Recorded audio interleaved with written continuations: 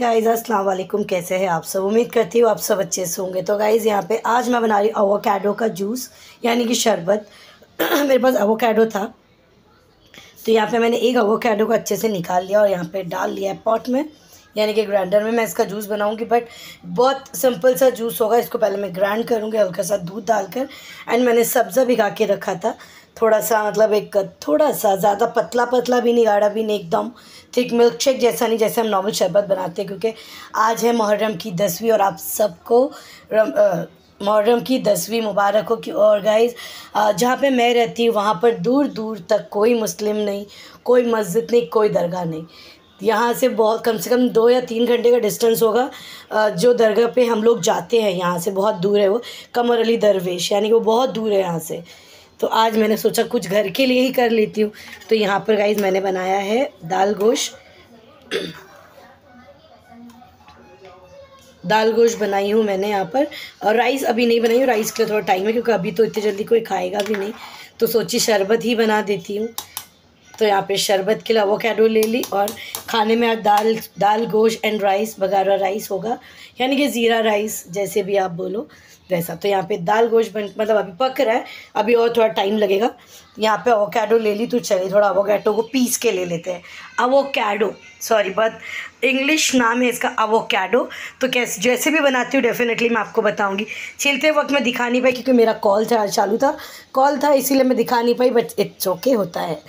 And ये इतना बड़ा जो उसके अंदर से सीड्स निकला है, बीज, इसका भी कुछ ना कुछ करेंगे, क्योंकि आठ या नौ महीने में इसका एक छोटा सा पौधा आता है तो ये मेरे किसी काम का नहीं है बट खैर जो भी है, यहाँ पे मैंने अच्छे से अवोकाडो निकाल ली हूँ। अवोकाडो तो चलिए इसको पीस कर लेते हैं। चलिएगा, इस पीस के लेते हैं, इसमें दूध डाल के मैं इसको पीस कर लूँगी। बाद में और दूध डालूँगी, दूध कच्चा ही लूँगी। एंड अवोकेडो एक ऐसा फ्रूट है, जिसका आप चटनी बना सकते हो सैंडविचेस के लिए आप यूज़ कर सकते हो। चटनी, सो मतलब टोस्ट सैंडविच हो गया। फिर आप इसका एक इटालियन इटालियन जो भी होता है मतलब बहुत सारी चीज़ें आप इससे बना सकते हो मिल्क शेक बना सकते हो। मतलब इसका ना एक्चुअली कोई बेसिक टेस्ट नहीं होता। तो अगर आप इसका कुछ, जैसे तीखा, आपको तीखा बनाना है तो आप तीखा बना सकते हो। आपको इससे मीठा बनाना है, आप मीठा बना सकते हो। मतलब चॉइस इज़ योर्स आपको जैसे बनाना है वैसा। बट मुझे ऐसा लगता है टोस्ट वोस्ट से बेटर होता है मिल्क शेक जूस, शरबत बेस्ट है।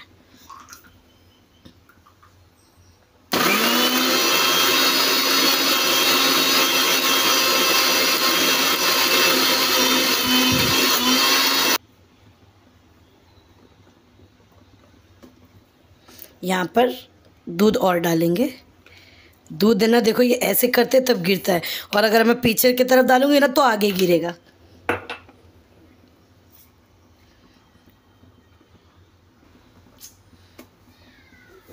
देखिए, एकदम थिक है अभी भी। बट अभी भी इसके अंदर एक क्रंचनेस है तो और इसको थोड़ा और पीसेंगे। क्या हो गया, कबीर?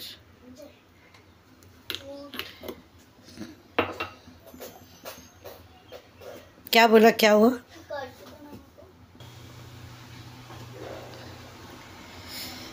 तो यहाँ पर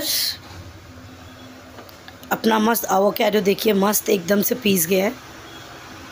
अब इसको जो बाउल मैंने रखा था उसमें ऐड कर मतलब उसमें डालेंगे। यहाँ पे मैंने ये ले लिया जिसमें मैंने सब्ज़ा रखा हुआ है। सब्ज़े के अंदर ही हमको ऐड करना है। तो सबसे पहले मैं यहाँ पे दूध लूँगी। मैंने पहले एक गिलास दूध ली थी तो आधा गिलास मैंने यूज़ किया है पीसने के लिए। यहाँ पे मैं अपने क्वांट मतलब एक मेजर के हिसाब से दूध ऐड करूँगी।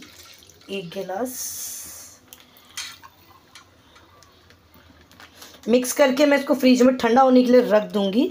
उसके बाद शाम के टाइम पे बच्चों को ठंडा ठंडा मस्त एकदम दूँगी। यहाँ पे मेरा दो गिलास हो गया। हाफ़। और हाफ़ मैंने पीसने के लिए यूज़ किया। इनके टोटल तीन गिलास दूध हो गया है यहाँ पर। अब यहाँ पे जो मैंने अवोकाडो ली थी, ये मैं इसमें ऐड करूँगी। इसके बाद मैं शक्कर आई थिंक मेरे को पहले ऐड कर लेना चाहिए। क्या बोलते हो? क्योंकि मैंने गाइस पहले ज़िंदगी में कभी भी अवोकाडो का कोई जूस मिल्क शेक नहीं बनाया है, बिल्कुल भी नहीं, कभी भी नहीं। मैंने अपने लाइफ में कभी भी अवोकेडो का यूज़ किया ही नहीं है। हाँ मैं यूट्यूब पे देखती थी कि कैसे बनता है, क्या है फल का, फलाना डिमका बट आई डोंट नो कि कैसे बनता है बट ना अभी इतना लोगों के बीच में रहने लगे कि सब, हर चीज़ समझ में आ गया कि क्या और कैसे बनता है। यह शक्कर मैं अपने टेस्ट के अकॉर्डिंग इसमें ऐड करूँगी। बारिश चालू हो गई शाम के टाइम पे, शाम मतलब अभी हुआ नहीं। शक्कर गाइस मैं अपने टेस्ट के अकॉर्डिंग ही ऐड कर क्योंकि अवोकेडो में टेस्ट नहीं होता।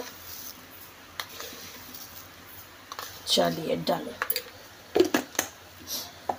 इसमें थोड़ा सा ड्राई फ्रूट भी ऐड होगा, सब अच्छे से मिक्स मिक्स अवोकेडो का जूस अवोकेडो का, लोग बोलते हैं मिल्क शेक बेस्ट होता है बट आई थिंक आप जूस बना के पियो मिल्क शेक बना के पियो सेम टेस्ट होता है। तो चलिए इसको अच्छे से मिक्स करके लेती हूँ।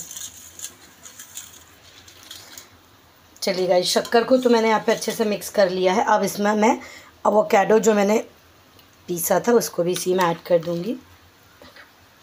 अच्छे से मिक्स किया, और जो से बचा हुआ है, वो भी इसी में निकाल लूँगी, क्योंकि मैं कोई चटनी वगैरह नहीं बना रही हूँ। तो जो एक्स्ट्रा है वो भी इसी में ऐड कर दूँगी। और इसको अच्छे से मैं फिर से मिक्स करूँगी। क्योंकि ये इतना ज़्यादा क्रीमी टेक्सचर है ना, बहुत ज़्यादा। ये एक्चुअली पता है, इससे हम नॉर्मल ग्रीन चटनी वगैरह जो होता है ना, हम जैसे पुदीने की चटनी, ये तो आप इससे वो भी बना सकते हो।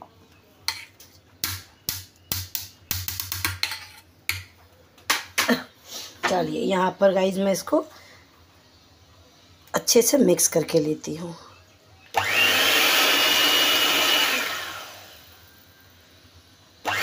थोड़ा बड़ा बर्तन लेना चाहिए, मुझे ऐसे लग रहा उड़ रहा है ये।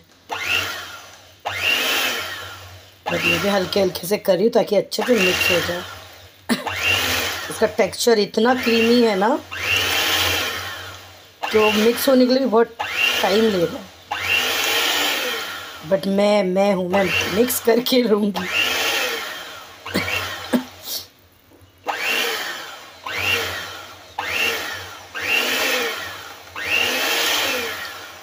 अब कंटिन्यूसली इसको ऐसे नहीं चलाइएगा, वरना फिर वो पूरा उड़ जाएगा। इसलिए मैं रुक रुक के, रुक रुक के कर रही हूँ।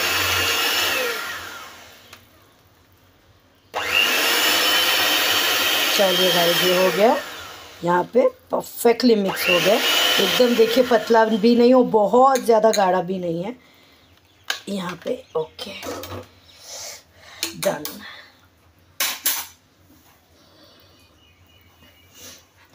पूरा मेरा हाथ गंदा हो गया, इतना उड़ रहा ना इधर इधर। चलिए इस यहाँ पे जो भी था सब हटा दी अब ये देखिए, आप इसका एग्जैक्टली टेक्सचर देख सकते हैं। एकदम गाढ़ा गाढ़ा है बट यहाँ पर मैं थोड़ा जस्ट एक फ्लेवर के लिए वेनीला एसेंस एक खुशबू के लिए डालूँगी, क्योंकि अवोकेडो जो मैंने डाली ना एक्चुअली वो मुझे नहीं समझा मतलब एक जब आप खाओगे तो वो उसका वो टेस्टलेस है बट हाँ थोड़ा बहुत आपको फीलिंग आएगी बट खुशबू के हिसाब से मैं बोलूँ तो मैं थोड़ा सा वेनीला एसेंस इसमें ऐड करना चाहूँगी जस्ट फॉर टेस्ट क्योंकि अगर खुशबू ही नहीं आएगा शरबत में तो फिर मतलब ही नहीं है शरबत का। यहाँ पे मैंने बहुत कम डाला, बहुत ज़्यादा नहीं डाला। है इसके अलावा गाइज़ मेरे पास काजू बादाम है तो यहाँ पे मैं काजू बादाम भी ऐड कर रही हूँ।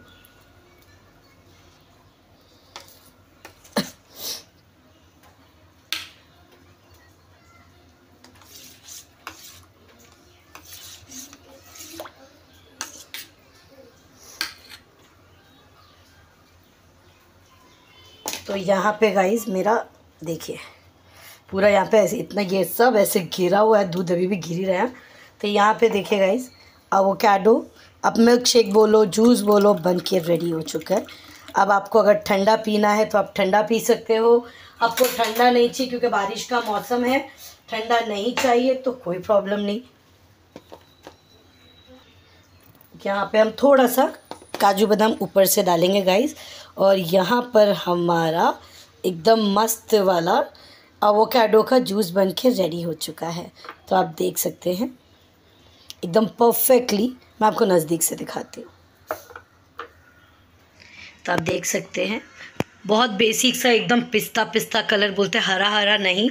जो नेचुरल अवोकाडो का कलर है गाइज़ एग्जैक्टली वैसा ही हमारा जूस पे। यानी कि आप शेक भी बोल सकते हो बन के रेडी हो चुका है। देखिए। बहुत सिंपल सा अवोकाडो का जूस था गाइज़ मैंने बनाया है। बट अभी जो ऑल है और भी जो है उसको मैं रख दूँगी फ्रिज में ठंडा होने के लिए ताकि ठंडा हो जाए तो मैं बच्चों को आराम से दे सकती हूँ। तो चलिए गाइज़ यहाँ पे मेरा अवोकाडो जूस बन के रेडी है एंड आप सबको मुहर्रम का दसवीं मुबारक हो। और आई होप आपको वीडियो अच्छा लगा हो। वीडियो अच्छा लगा हो तो like share and comment and दुआ में याद रखिएगा। अल्लाह हाफिज। अल्लाह हाफिज।